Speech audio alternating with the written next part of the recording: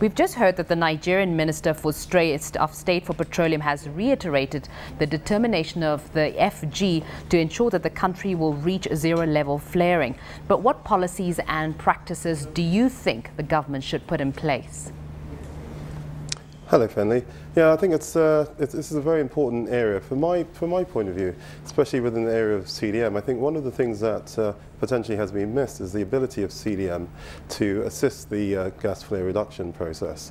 Now, using the uh, CDM, which is part of the carbon credit mechanism, essentially from reducing the amount of gas flaring, you can derive another source of revenue by essentially uh, using the carbon revenues that you derive to ensure that, uh, uh, that the revenues overall for these types of projects come up to a level which, uh, which certainly encourages people to come into the marketplace. Now, we've just heard as well that the government is doing everything possible to ensure a green economy for Nigeria. How true is that? Well, I, I, think certainly there have been uh, a number of uh, important developments in the last in the last few years. Uh, certainly, there's now what's called a designated national authority uh, within Nigeria, and, and, also a climate change commission has also uh, been approved within the country. So, uh, institutions like that, the idea of institutions like that is that they assist with devising the policies and practices and, and help, if you like, to act as a source of information for businesses who are looking to get into into renewable energy or, uh, or greenhouse gas reduction type projects. And certainly, uh, as I said, using things like the CDM, the, the Clean Development Mechanism or carbon credits, um, th that's another good source of additional revenue, which usually gets a lot of these projects over what you might call the hurdle rate of return that they require to get into this market. And that's the whole point, if you like, of the, of the, uh, of the, of the CDM. Well, well, let's look at the Climate Change Commission. What impact have they made? What changes have they brought forward thus far? Well, certainly the Climate Change Commission has been involved in, uh, in improving uh, a number of projects in, within the CDM. Um, number of the projects we've had in Nigeria, I know in particular you're referring to the, uh, the Minister of State for Petroleum, a number of those projects have been uh, put in place because they were gas flare reduction uh, projects and uh, one of them uh, led to something like 2.7 million uh, tons of, of, of, of of, of gas, if you like, reduction uh, or CO2 reduction in the atmosphere. Now that's quite significant uh, for one project uh, and over a space of 10 years you're talking about you know 27 million tons of, of gas reduction there. With a number of, of other uh, projects like that coming on stream, um, uh, I think the, the, the, quantum of gas flare reduction uh, that you'll see will be quite significant. And of course, from the point of view of the country, the gas that's been flared has led to, of course, has had environmental impact which has been uh, quite detrimental to various parts of the country and, uh, and hence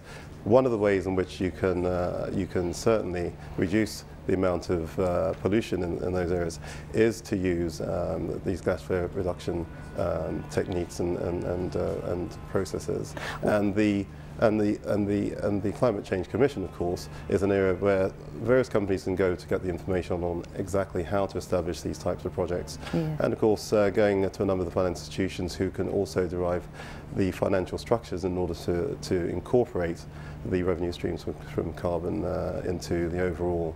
Yeah, well, Muyi, Muyi what's the potential regarding the extraction of gas in the country? Well, certainly, uh, as I said, there's been, uh, there have been about two or three fairly large projects. Now, overall, 180 trillion cubic uh, uh, meters of gas uh, available as reserves in this country. Um, as I said, one project on its own um, led to 2.7 million tons reduction per annum. Uh, if you could bring a lot more of those projects on board via the use of things like the, uh, the CDM and via the use of the Climate Change Commission, uh, then the impact would be significant. But I must say at the moment it's, uh, it's an ongoing process um, which uh, we want to see many more companies coming into in this respect. Well, where are the gaps within this industry? Is it the concern with infrastructure? Is it stimulus? Where are the gaps? Well, certainly, I think uh, I believe that the, the, with regards to financing, I believe that uh, a lot of the companies are not uh, not comfortable with the sorts of uh, financial structures that are in place if they do get into this industry. Of course, it's very expensive. um, to, uh, if you like, put the infrastructure in place, um, especially a lot of it uh, you would potentially think would be off-taken by the government in terms of developing the electricity uh, infrastructure. And uh, I think you know, there are challenges certainly in the Nigerian context with that. Um, so as more of those structures start to come into place for independent power stations, if you like, and also for the use of government in increasing the amount of electricity that goes into the, into the circulation in the population, I think you will find that more of these uh, uh, gas-type projects will, will come on stream.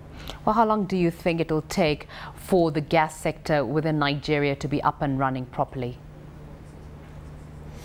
Oh, now that's a question. Um, how long will it take? Well, I think uh, it's an ongoing process. Um, I wouldn't like to speculate on how long it will take because I think that's uh, that, that's probably going to be outside of, of an area that I would uh, I would be able to accurately uh, um, uh, suggest, if you like. All right, uh, maybe. I, I, certainly think, yeah. All right, that's I fine. certainly think that uh, we'll see it. You know, okay.